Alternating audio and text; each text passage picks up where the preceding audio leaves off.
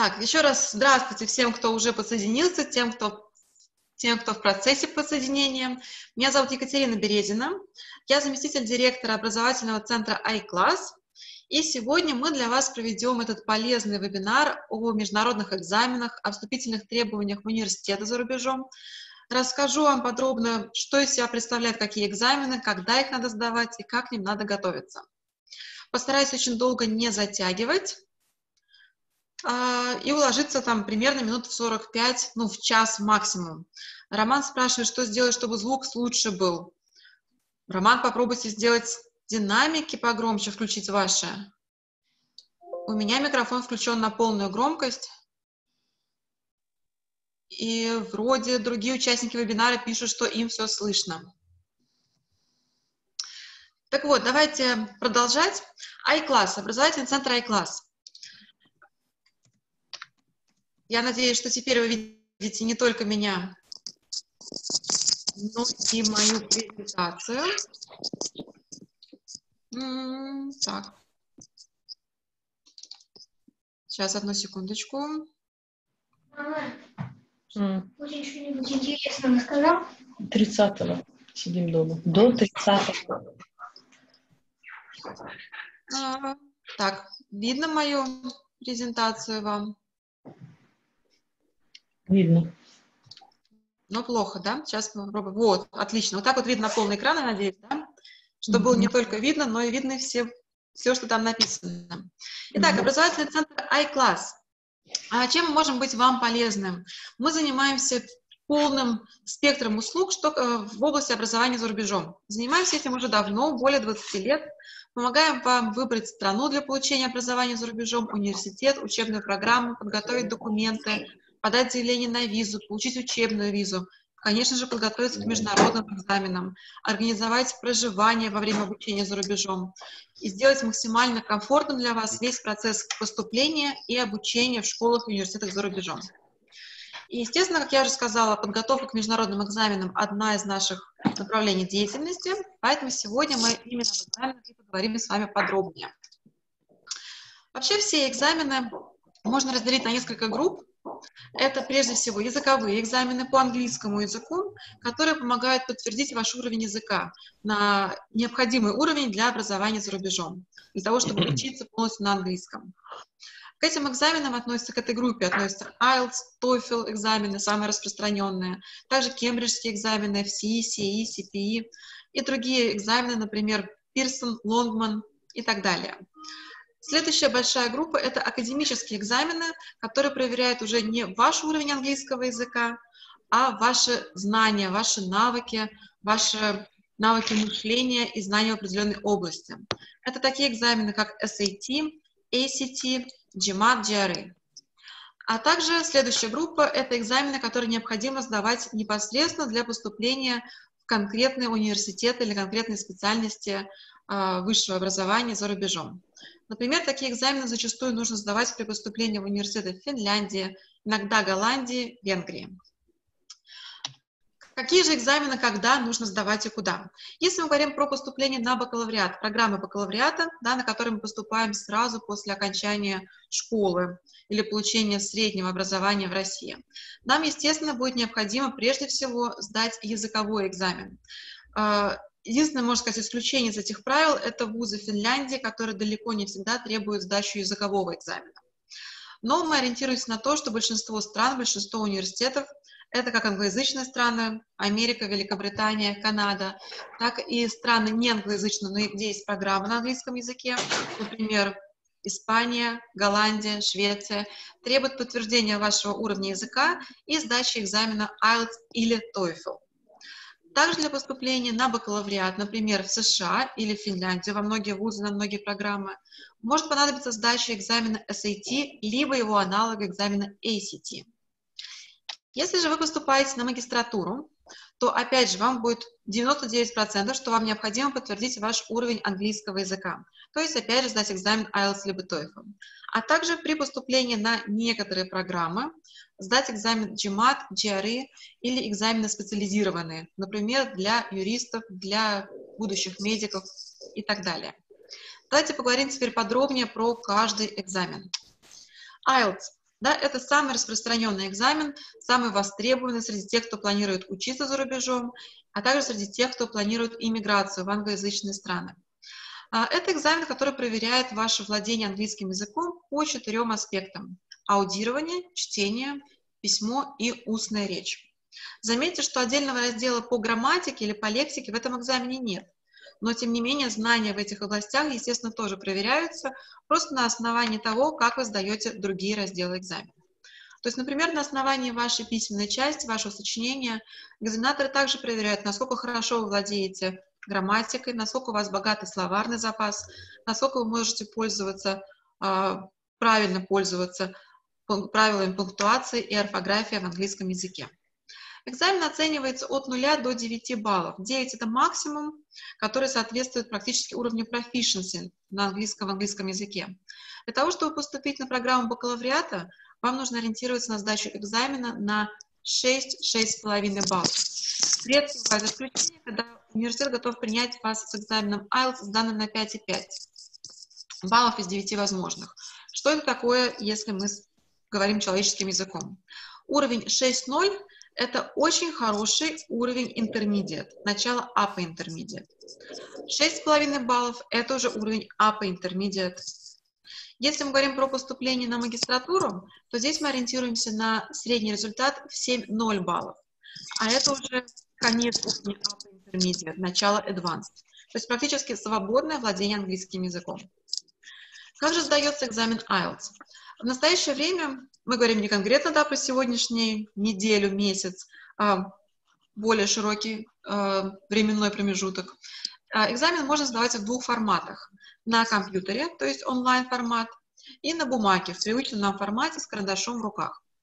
А, онлайн-формат появился не так давно, ему меньше года, а, поэтому только набирает свою популярность, но в целом имеет ряд преимуществ.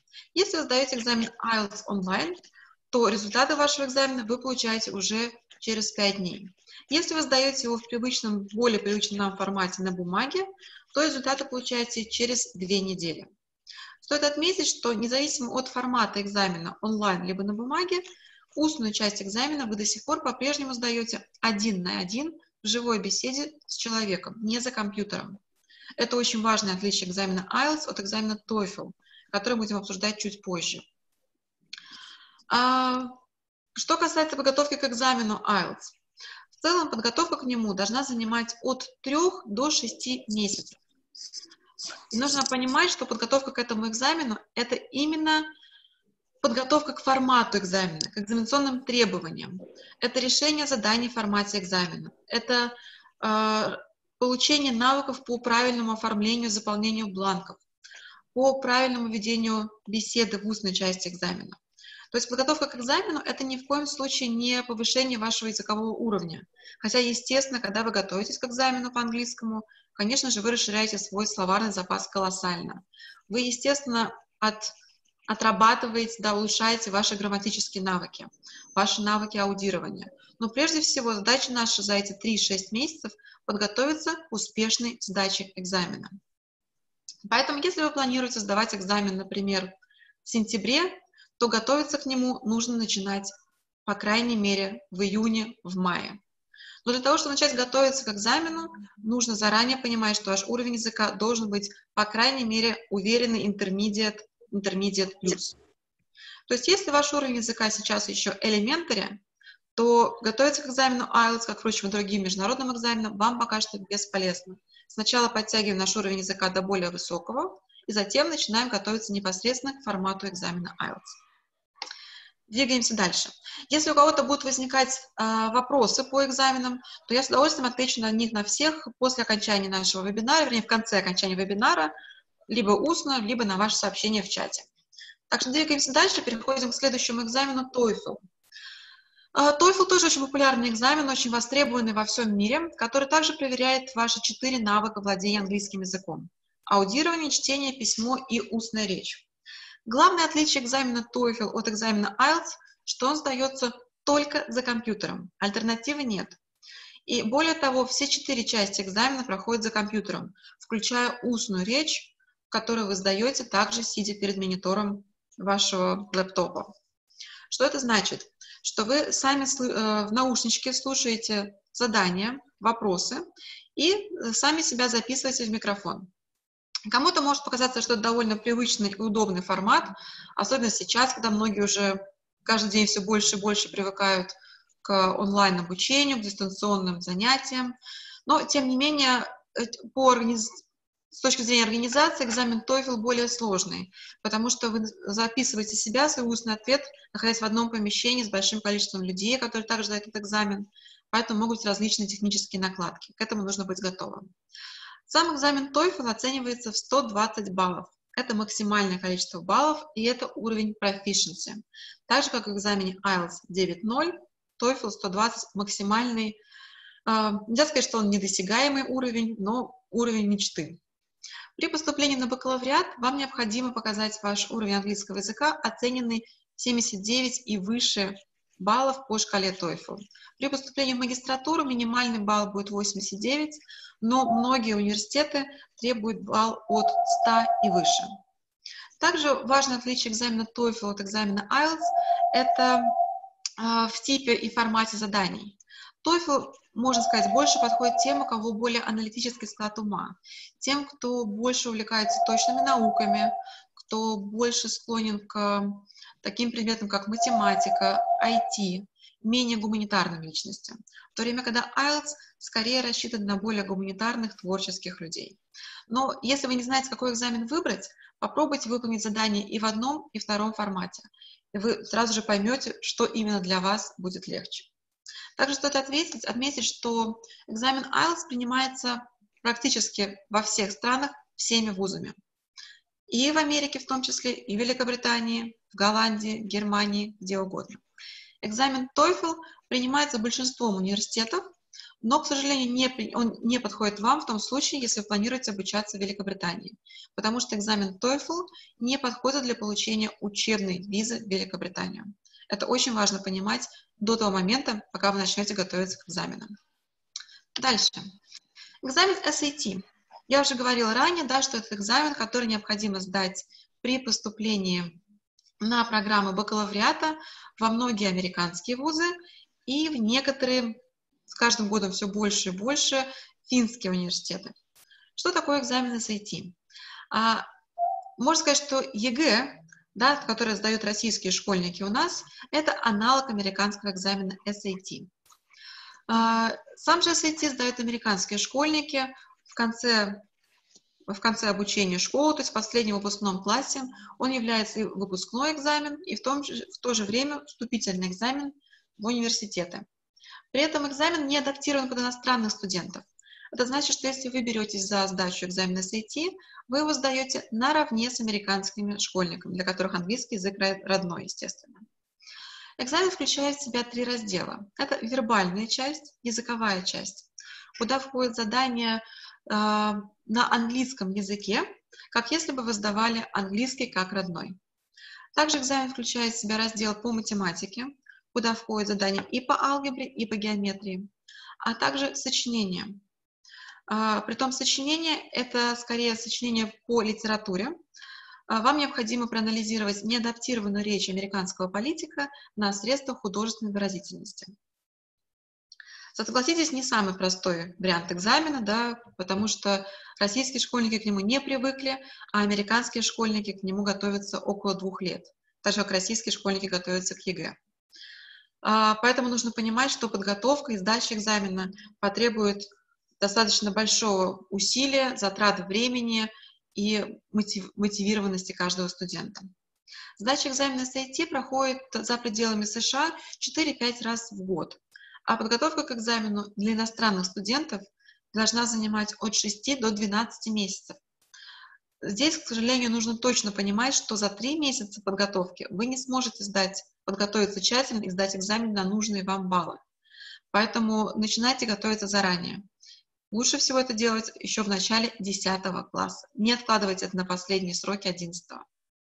А, что касается языкового требования для сдачи экзамена SAT, официальных требований нет. Но мы же понимаем, да, что чтобы сдать экзамен наравне или даже лучше, чем американские школьники, ваш уровень английского языка должен быть практически свободным. То есть это должен быть, по крайней мере, уровень APA Intermediate. А, помимо общего экзамена SAT, который включает в себя язык, математику и сочинение, также есть экзамен SAT Subject, то есть SAT по предметам. Аналог, да, ЕГЭ по предметам, ЕГЭ профильный. SAT Subject вы можете сдавать в том случае, или вам необходимо сдать в том случае, когда вы поступаете на бакалавриат э, в топовые университеты на сильные программы в той или иной области. Например, если вы поступаете на программу в сфере в области математики, IT-технологий, в топовый университет, например, в MIT, то вам понадобится сдать экзамен SAT общий, а также экзамен SAT дополнительно по углубленной математике и, например, по углубленной физике. Дальше двигаемся. Переходим к более взрослым экзаменам. Это экзамен GMAT, который необходимо сдавать при поступлении в топовый университет или на топовые программы магистратуры в области бизнеса и менеджмента или на программы MBA. Экзамен GMAT – это не проверка, опять же, вашего знания английского языка. Это проверка вашего умения мыслить, аналитически думать, анализировать информацию, а также на общий уровень вашего развития. А, согласно результатам этого экзамена, университет понимает, насколько вы соответствуете требованиям, предъявляемым к студентам, да, к магистрантам, даже насколько вы сможете в дальнейшем работать в сфере бизнеса, предпринимательства, менеджмента, маркетинга. Экзамен состоит из двух частей. Это вербальная часть и математическая часть. А, задания действительно очень сложные, поэтому, опять же, надеяться, что вы зададите этот экзамен наскоком, подготовить, подготовившись к нему там за месяц-два, это очень э, авантюрное мероприятие, потому что подготовка к экзамену требует от полугода и более. А, задания в самом экзамене включают в себя не столько прямые задания на лексику или орфографию или не написание сочинений, сколько зада задания на логику, на то, насколько вы можете найти необходимую информацию, проанализировав несколько видов таблиц, прочитав несколько вариантов текстов, суммировав информацию из разных источников, проанализировав ее и выдав свой вариант ответа. Опять же, уровень языка для сдачи экзамена GMAT должен быть практически свободный. Ниже, чем уровень APA Intermediate, к сожалению, сдавать этот экзамен, даже начать с ним готовиться практически бесполезно. Поэтому, если вам необходимо сдавать два экзамена, так, скорее всего, и будет, это языковой экзамен IELTS либо TOEFL и экзамен GMAT, сначала мы подтягиваем уровень языка, после этого мы сдаем языковой экзамен IELTS либо TOEFL, убеждаемся, что у нас действительно высокий балл, и после этого готовимся, сдаем экзамен GMAT. Экзамен GRE, да, следующий экзамен, который может понадобиться для поступления на программу магистратуры университета за рубежом, экзамен GRE. А, зачастую или иногда он бывает, э, может служить аналогом экзамена GMAT или его заменителем. Но экзамен GRE чаще требуется для поступления в магистратуру, например, на, эконом, на программы в сфере экономики или также менеджмента маркетинга. А, существенное отличие экзамена GRE от GMAT – это то, что в экзамене GMAT более сложная математическая часть, но более простая вербальная часть. В экзамене GRE наоборот, математика достаточно простая. По крайней мере, с ней спокойно справляются школьники, даже, даже школьники да, 10 класса. Но в экзамене GRE очень сложная вербальная часть, которая требует просто колоссального словарного запаса. Так же, как экзамен SAT, экзамен GRE бывает не только общий, но и, и предметный. Например, по психологии, по химии, по иностранному языку. Такой экзамен необходимо сдавать при поступлении на программы аспирантуры или на программы магистратуры узкоспециализированные. Как я уже говорила ранее, помимо экзаменов международных, да, которые вы сдаете один экзамен, его результаты принимают сразу несколько университетов в разных странах, есть еще экзамены, которые вы сдаете непосредственно по специальности в конкретный вуз или в конкретную э, ассоциацию университетов. Так, например, происходит в Финляндии. Вообще Финляндия сейчас довольно популярная страна, которую многие студенты, особенно школьники, рассматривают как первую страну да, для поступления после получения среднего образования. И вот для поступления в финские университеты прикладных наук у нас есть два варианта. Либо сдать экзамен SAT, о котором мы говорили ранее, либо как раз-таки сдать экзамен по специальности, по той специальности, на которой вы подаете документы. Таким образом, вы можете сдавать экзамен, например, по международному бизнесу, а, по туризму, гостиничному либо ресторанному менеджменту, по сестринскому делу, по бизнесу в сфере IT, а также по информационным технологиям либо инженерным технологиям. Сам экзамен по специальности может проходить либо очно, также он в Петербурге может сдаваться, да, либо в вашем родном городе, если повезет, или в университете Финляндии, или онлайн. А, выбор очно либо онлайн зависит либо от университета, от его вступительных требований, либо, как в данный момент, да, от общей ситуации международной. А, что же из себя представляет очные вступительные или онлайн вступительные экзамены по специальности в Финляндии? Они обязательно включают в себя следующие разделы. Вы видите их на экране. Это профильные задания. Они зависят от того, на какую специальность вы поступаете. Если вы поступаете на инжиниринг либо информационные технологии, то, естественно, что вам нужно продемонстрировать на экзамене? Хорошие навыки, хорошее знание, владение э, материалом по математике, алгебре и геометрии, а также по физике или химии. Если вы поступаете, например, на программу в сфере международного бизнеса, то вам будут предложены на экзамене вопросы по прочитанному материалу по вашей специализации. Например, это может быть отчет о деятельности какой-то финской компании, коммерческой компании, которая включает в себя информацию по менеджменту компании, по финансам компании, по маркетинговому стратегическому планированию конкретно этой компании. Вам тут весь материал нужно переработать, понять, разобраться, а, проникнуть вообще в основы менеджмента, маркетинга, рекламы, финансов, управления. И после этого выполнить на самом экзамене задания по этому материалу. Это могут быть как тестовые вопросы на понимание материала, вопросы по лексике, которые вы встречали в материале, или вопросы более творческого характера. Также все вступительные экзамены университета Финляндии обязательно включают в себя задания по математике. Понятно, что если мы говорим про специальности в области инжиниринга или IT, это само собой разумеющееся. При поступлении на бизнес, да, математику вы тоже сдаете. Более того, математику вы сдаете, даже если поступаете на туризм, на сестринское дело, на работу в социальной сфере.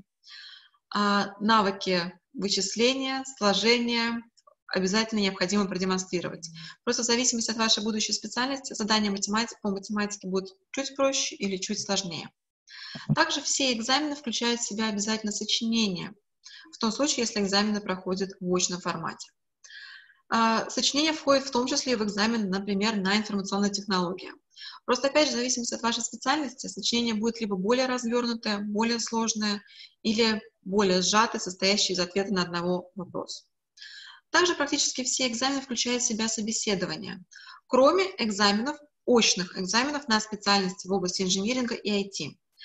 Если вы поступаете на эти технические специальности, собеседования у вас не будет, если вы очно сдаете экзамен. Все остальные экзамены включают в себя собеседование. И обязательная секция во время экзамена – это вопросы по мотивации.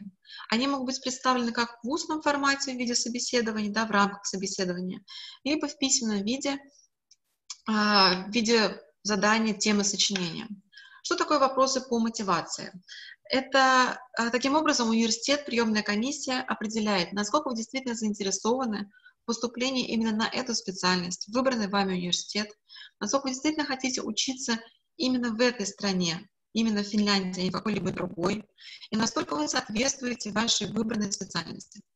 Например, при поступлении на программы в области сестринского дела, приемная комиссия хочет четко понимать, что вы осознаете, чем вам придется заниматься в дальнейшем, что из себя представляет работа в сфере здравоохранения, и что вы, как кандидат на поступление на эту программу, обладаете всеми необходимыми навыками для работы, зачастую непростой работы в сфере здравоохранения. Также э, все экзамены обязательно включают в себя проверку вашего уровня английского языка. Ни один экзамен при этом не включает в себя отдельную секцию по английскому. Но на основании вашего сочинения, прохождения собеседования, письменного или устного ответа на разные экзаменационные вопросы, экзаменатор обязательно смотрит, насколько ваш уровень языка соответствует необходимому. Сможете ли вы учиться э, на английском языке, обладая вашим уровнем языка. Поэтому, а, если, например, планируете поступать на инжиниринг и рассчитываете, что раз вы прекрасно разбираетесь в математике, физике и химии, то и без английского языка вас возьмут на, на программу. К сожалению, это не так, потому что этот экзамен включает в себя обязательно минимальный порог э, по английскому языку, который необходимо пройти, чтобы в дальнейшем вас рассматривали, оценивали э, решенные вами задания по математике, физике и химии. Давайте двигаться дальше. Когда же нужно сдавать экзамены при поступлении в разные страны? И какие экзамены нужно сдавать? Начнем с Финляндии, да, раз мы только что с вами о ней говорили. А, как мы с вами обсудили, да, для того, чтобы поступать в Финский университет прикладных наук, вы можете сдавать либо экзамен SAT международный, либо экзамен по специальности. При этом в большинство университетов экзамен языковой отдельно IELTS либо TOEFL вам сдавать не надо, за исключением некоторых только вузов.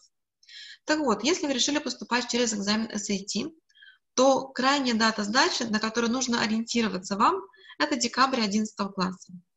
Да, формально во многие вузы вы можете сдать экзамен SAT в марте 11 класса, дослать ваши результаты. Но это уже достаточно рискованное предприятие, потому что всякое может случиться. Вы заболели накануне экзамена, завалили его и полностью провалили все поступление. Поэтому ориентируйтесь на то, чтобы сдать экзамен SAT. Либо оптимальный вариант в мае 10 класса, либо в октябре, в декабре 11 класса. Если же мы с вами говорим про очные вступительные экзамены э, финские вузы, то они в основном проходят в марте-апреле 11 класса. При этом готовимся мы к ним, естественно, тоже заранее. Несмотря на то, что кажется, что апрель 11 класса это еще, может быть, для кого-то совсем не скоро, а подготовку к экзаменам по специальности мы начинаем с сентября 11 класса. Если же мы с вами поступаем в университеты Америки, здесь необходимо, естественно, сдавать языковой экзамен, IELTS либо TOEFL на ваш выбор. И очень мы его рекомендуем вам сдать в 10 классе. А, либо в середине 10 класса, то есть перед Новым годом, либо в конце 10 класса. Потому что для поступления в хорошие топовые университеты США и также для получения какой-либо стипендии вам крайне желательно, иногда и просто необходимо и обязательно сдать экзамен SAT, а, который мы ориентируемся на сдачу в конце мая, э, в начале мая 10 класса или в августе-октябре 11 класса. Потому что большинство американских вузов документы вам необходимо подавать до Нового года 11 класса, а если подаете на стипендию, то для большинства, в большинстве случаев это ноябрь 11 класса. А, соответственно, не сдав экзамен SAT к этому сроку, вы можете не успеть подать документы или просто на стипендию, или вообще в университет. Дальше, если мы поступаем в те страны, где нам нужно сдать только языковой экзамен, IELTS либо TOEFL, да, например, для Великобритании только IELTS, то мы ориентируемся на сдачу экзамена все равно заранее. Конец 10 класса, начало 11 класса – это оптимальные сроки. Потому что, естественно, несмотря на то, что вы будете учиться за рубежом, школу закончить в России необходимо, и ЕГЭ сдать все равно вам необходимо. Поэтому 11 класс лучше по максимуму при возможности разгрузить для того, чтобы успешно закончить школу и сдать экзамен ЕГЭ. К тому же, если мы поступаем в университеты за рубежом, в США, Великобританию, нам также будет необходимо написать с вами мотивационное письмо, которое прикладывается в пакеты документов. А это тоже занимает определенное время, время для написания, для вычитывания, для подготовки к написанию мотивационного письма. Поэтому не перегружайте свой 11 класс, старайтесь сдать все заранее. Если же вы поступаете на магистратуру, когда и что сдавать? В принципе, можно ориентироваться на те же сроки. Просто вместо класса, да, поставьте слово «курс». Соответственно, языковые экзамены IELTS либо TOEFL оптимально сдать в конце предпоследнего курса, да, то есть в большинстве случаев это третьего курса, а, или до Нового года последнего четвертого курса. Если же вам необходимо сдавать экзамен GMAT либо GRE, то, соответственно, сдвиньте все на полгода назад. Языковой экзамен сдаем к концу третьего курса, как самое позднее, и начинаем после этого полугодичную программу подготовки к экзамену GMAT либо GRE. А как же должен быть устроен процесс подготовки к экзаменам? Да, как он устроен у нас, в нашем учебном центре iClass, и как он должен проходить, даже если вы готовитесь к экзамену самостоятельно. Вот эти пункты плана, которые перед вами, можете прямо себе сфотографировать, записать, именно по ним идти степ-бай-степ, то есть шаг за шагом, готовясь к экзамену. Прежде всего, нужно максимально точно определить ваш языковой уровень.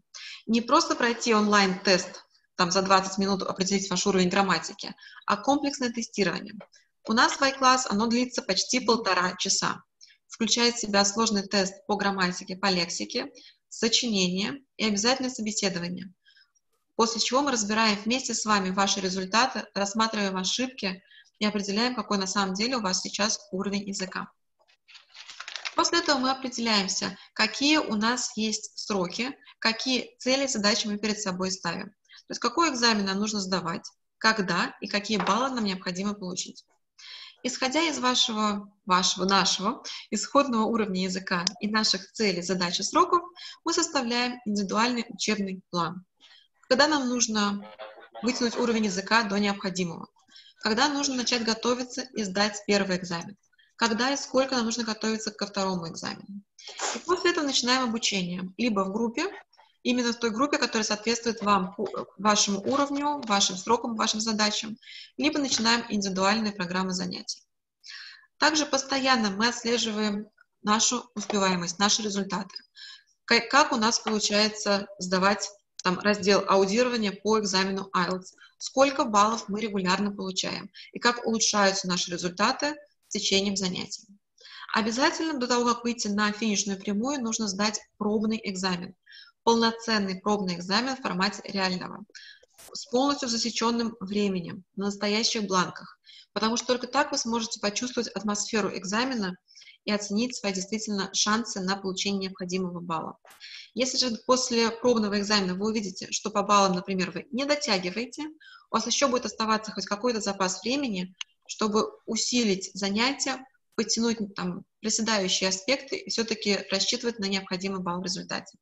И только после этого мы сдаем уже официальный экзамен. Обязательно помните, что нельзя сдавать экзамен впритык да, к дедлайну по подаче документов. У вас должно оставаться, по крайней мере, одна-две возможности для пересдачи экзамена, если мало ли что-то пошло в день экзамена не так.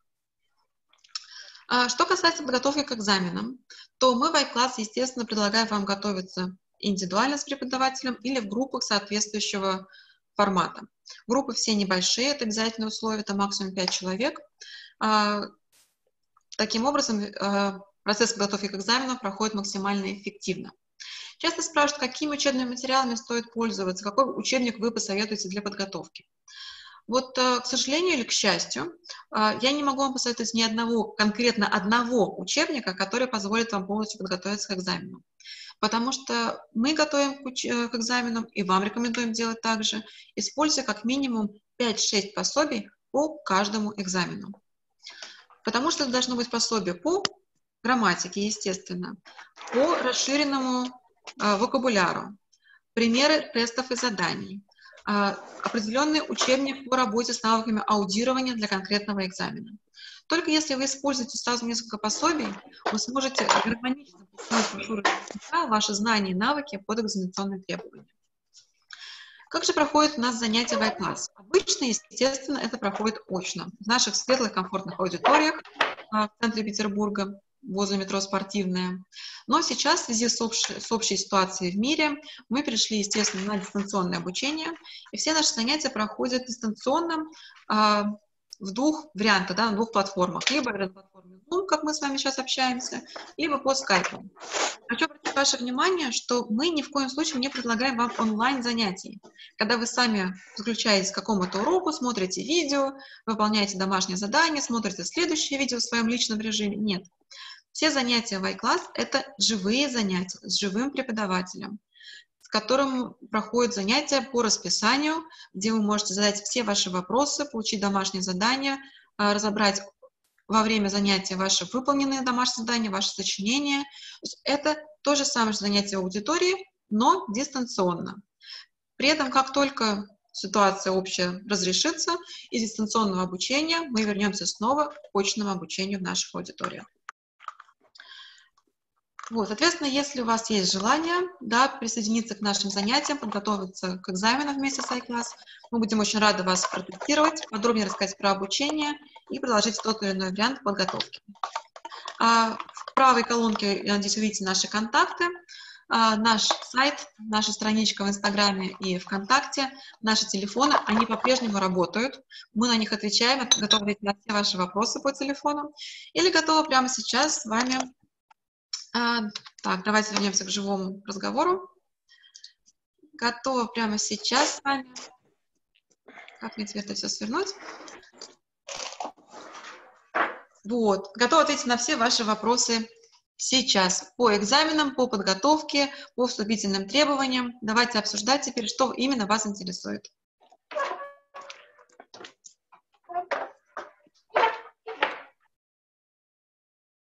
Какие-то вопросы у кого-то есть? Можете писать в чат, я буду читать, озвучивать.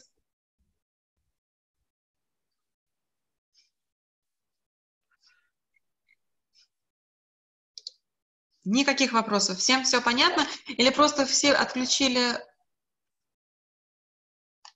отключили микрофоны? Почему речь идет только о выпускниках школ? А, нет, Мила, речь на самом деле шла не только о выпускниках школ, может, так я просто выражалась более привычно для себя. Экзамены IELTS либо TOEFL, они не только для поступления на бакалавриат, они для поступления на все магистрские программы в том числе. А, экзамен и GRE также для поступления в магистратуру, естественно. Как можно пройти сейчас тестирование? А, сейчас тестирование можно пройти по скайпу. Соответственно, оно проходит в два, в двух, в два этапа. Вы получаете по скайпу да, а, тест, который вам необходимо выполнить самостоятельно. Это не онлайн-тестирование, вы выполняете его дома на бумаге, отсылаете нам ваши результаты теста, то есть ваши ответы, мы его проверяем. После этого высылаем вам тему для сочинений, засекаем время четко, 20 минут, которые вы, за которые должны написать сочинение по заданному вопросу. Подсылайте нам сочинение, мы его проверяем. Тут же проводим с вами онлайн-собеседование по скайпу и разбираем после этого ваши результаты, ваши ошибки в тесте на грамматику, лексику, то, как вы написали сочинение, как можно было бы улучшить ваше сочинение, а, какие-то еще дополнительные вопросы с вами обсуждаем. После этого озвучиваем, какой у вас сейчас уровень языка, максимально точ точно. То есть не просто у вас уровень, например, intermediate, а ваш уровень языка intermediate, часть там, вторая, да, или конец уровня intermediate, начало upper intermediate с проседанием вот таких вот грамматических, например, разделов. И после определения вашего уровня языка дальше мы уже предлагаем вам занятия или вместе с вами разрабатываем индивидуальный план подготовки к экзаменам.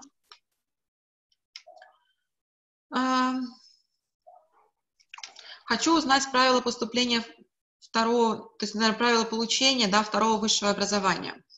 Мил, у нас сейчас скорее больше вебинар касается именно экзаменов, да, вступительных экзаменов и международных. Что касается правила получения второго высшего образования, а, я переадресую ваш, ваш вопрос моим коллегам, которые занимаются непосредственно а, поступлением, подбором программ да, для получения высшего образования за рубежом. Они будут рады ответить на ваш вопрос, проконсультировать вас либо индивидуально по скайпу, либо в онлайн, э, либо в электронной переписке по вашему вопросу. Пришлите, пожалуйста, а, в скрытом сообщении ваши контакты, да, чтобы мы могли с вами продолжить беседу по вашей теме, по вашей интересующей вас теме уже один на один. Если уже есть высшее образование, полученное в РФ, процедура поступления отличается. Если мы с вами говорим, что если вы планируете после получения высшего образования в России снова поступать на бакалавриат, да, а не в магистратуру, то процедура не отличается. А, на бакалавриат вы поступаете на основании вашего школьного аттестата в любом случае. Это такая стандартная, стандартная схема. Конечно же, бывают исключения, да, например, если вы поступаете, а, в том случае, если вы поступаете, например, в Германию, да, то у вас будет преимущество перед школьниками, потому что у вас есть уже первые два курса университета закончены, тогда вы сможете напрямую поступать на бакалавриат Германии на английский язык. Если же студент поступает в Германию после 11 класса школьной программы, да, то ему сначала придется получить эти два года обучения в ВУЗе и только потом поступать. Но все равно поступление на бакалавриат в основном происходит на основании вашего школьного аттестата. В I-классе есть занятия по подготовке к вступительным профильным экзаменам в Финляндии. Не IELTS SAT, а именно вступительным. Да, естественно, в I-класс есть подготовка, есть занятия по подготовке именно к экзаменам по специальности для поступления в финские университеты. А, есть а, занятия в групповом формате, есть в индивидуальном формате. А, есть программа для 10 класса, для 10-классников, подготовка. Это занятия по курсу Business General, то есть это основа бизнеса для дальнейшего обучения по этой специальности. Занятия проходят, естественно, на английском языке. И для 11-классников подготовка к вступительным экзаменам по специальности вуза Финляндии начинается уже с сентября. Это полный курс, длится с сентября до середины марта, начала апреля, то есть до самой сдачи экзаменов. Также есть экспресс-курс с января по конец марта для тех, кто не успел вовремя присоединиться к группам. А так рассчитывайте на то, что с начала сентября нужно будет готовиться в групповом либо индивидуальном формате непосредственно к экзаменам по специальности. Бизнес, инженеринг, IT, туризм, сестринское дело. А некоторые университеты два раза в год начинают обучение, когда нужно подавать документы, чтобы попасть на январский поток. А, для того, чтобы попасть на январский поток, документы в основном вам нужно будет подавать в сентябре. Бывают более поздние даты подачи документов, это зависит от программы, от страны, от университета. А, но обычно это сентябрь, сентябрь, может быть, октябрь. Опять же, Александра, уточните, пожалуйста, может, в частном сообщении, какие именно страны вас интересуют, какая специальность. Сможем прислать вам более подробную информацию да, по январскому интейку непосредственно вам на почту. Мила, вашу почту вижу, спасибо большое, записала, свяжемся с вами в ближайшее самое время. А, так, следующий вопрос. Я уже обучался в iClass, хотелось бы узнать, можно ли бесплатно, без регистрации на платные курсы языка, проверить свой уровень языка у вас. Да, конечно, без проблем, вы можете прийти, протестироваться у нас, пройти комплексное тестирование. Если вы его проходили уже ранее, до того, как начать обучение в iClass, вам будет предложено такое же комплексное тестирование, но, естественно, уже другие задания. То есть если вы писали, например, а, комплексное тестирование тест 1, то вам будет предложен тест 2, либо тест 3, такой же по формату, но другой по заданиям. Так что, Сергей, обязательно приходите, когда это будет возможно, либо проходите тестирование по скайпу. А, вы можете нам позвонить, да, либо написать личное сообщение, чтобы мы с вами связались и назначили время, день и время вашего тестирования. Так, дальше двигаемся. Какие у нас еще есть вопросы? Если какие-то есть вопросы, задавайте, задавайте. Цены на обучение в вашей школе. А, цены разные, естественно, зависят от формата занятий, от э, курса. А, индивидуальные занятия, например, индивидуальные занятия по подготовке к экзамену IELTS с преподавателем один на один, а, стоимость одного занятия 2 часа 2600 рублей. Сейчас для новых студентов у нас действует скидка 20% на дистанционные занятия. Соответственно, с учетом скидки у нас будет получаться одно занятие. Сейчас скажу сколько. 2600, а, да, минус скидка 20%.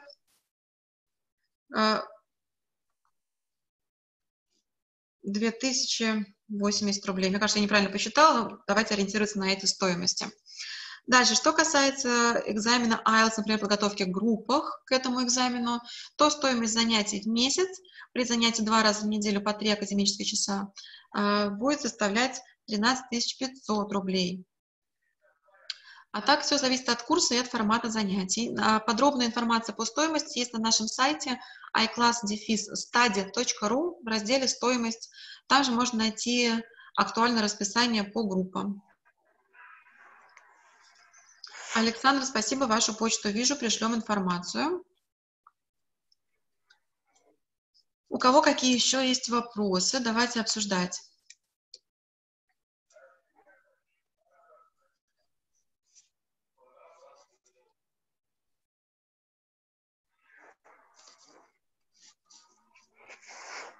Так, сейчас, одну секундочку. Угу. Спасибо, спасибо. Что касается еще международных экзаменов, да, естественно, сейчас в связи со всей этой ситуацией а, сдача, некоторые даты сдачи экзамена отменены или перенесены на более поздние сроки. А, но это, естественно, временные меры.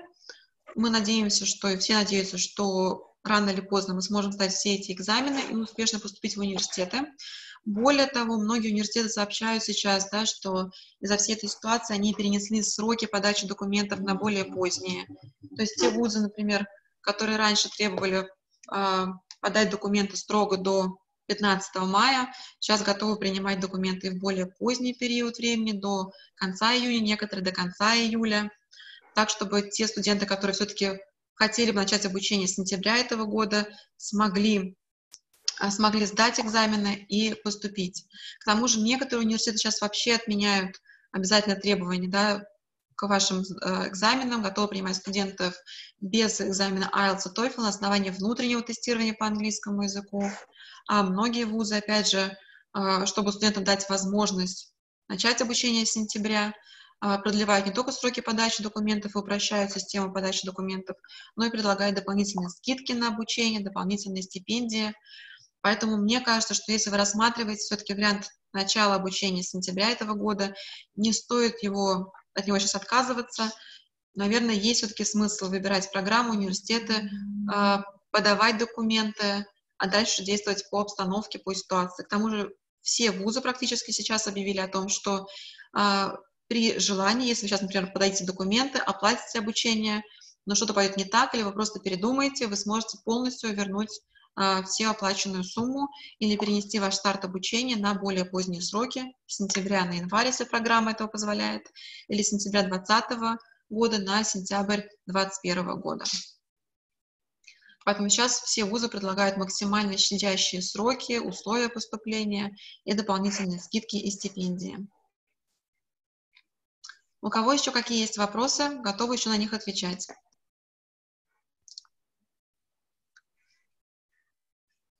Давайте я еще раз сделаю.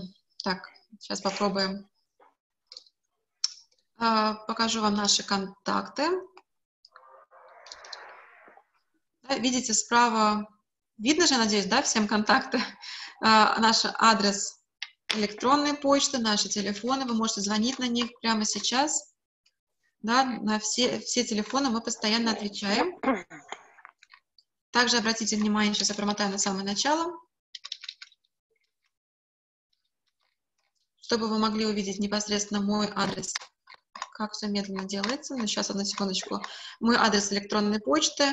Вы также можете задавать все ваши вопросы, самые сложные, самые простые, любые ваши вопросы непосредственно мне по электронной почте, которая сейчас появится, здесь тоже указана общая электронная почта, которая появилась все равно на ваших экранах, iClass, собака, iClass.ru, либо электронный, электронная почта e.березина, собака, iClass.ru. Сейчас я напишу ее а, в нашем общем чате, да, чтобы вы тоже могли все увидеть. Сейчас, одну секундочку.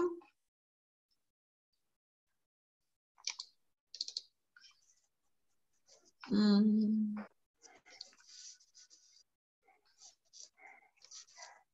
уже почти разобралась с зумом, осталось чуть-чуть.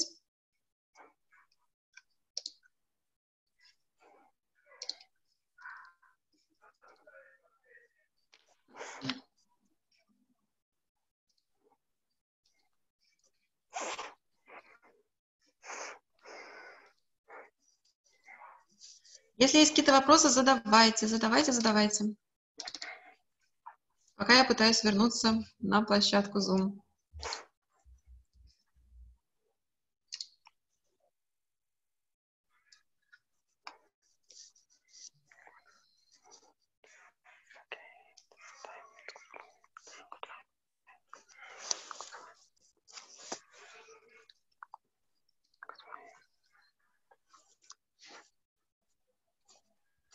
Так, соответственно, моя почта, сейчас вы видите ее в чате, вы можете задавать на нее тоже все ваши вопросы.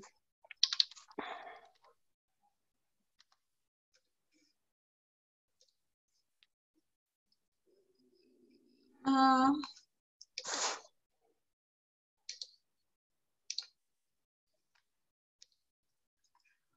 Мне подсказывают, как отменить демонстрацию экрана. У меня ничего... О, я увидела, что нужно сделать. Ура, спасибо вам большое за подсказку. Снежана, спасибо большое. Так. Вот мой адрес электронной почты, теперь его точно увидят все.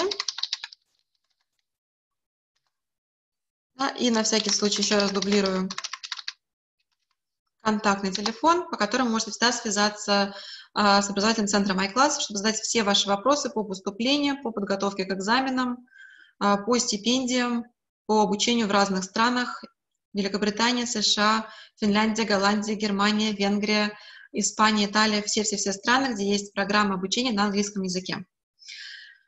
А, все, наверное, на этом мы закончим наш сегодняшний вебинар. Спасибо вам большое за внимание. Мы в ближайшее время проведем еще много полезных э, вебинаров э, по образованию за рубежом, по стипендиям, э, по программам со стартом обучения с января 2021 года. Вебинар полезный отдельно для школьников 10 классов, что нужно делать и когда, чтобы в 2021 году поступить. А также, также полезный вебинар ваши вопросы и наши ответы, где вы сможете узнать последнюю информацию, последние новости от университетов, от экзаменационных центров о том, что нам делать всем сейчас в этой ситуации. Если есть какие-то вопросы, пишите, звоните, всегда будем рады вам помочь. И оставайтесь на связи. Все, всем спасибо большое. До свидания.